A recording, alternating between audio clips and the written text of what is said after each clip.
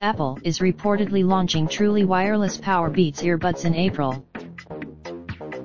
Apple's Beats is getting ready to launch truly wireless Powerbeats earbuds in April, reports. CNET source, CNET points out that the timing of the new wireless Powerbeats lines up with when the Beats X were announced, which was shortly after Apple first introduced AirPods in 2016.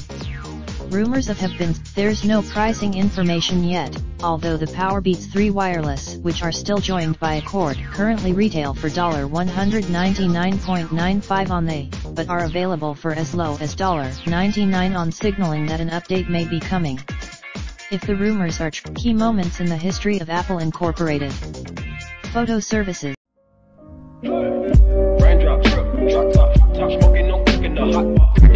On your bitch, yeah, that, that, that. Looking up, open the park.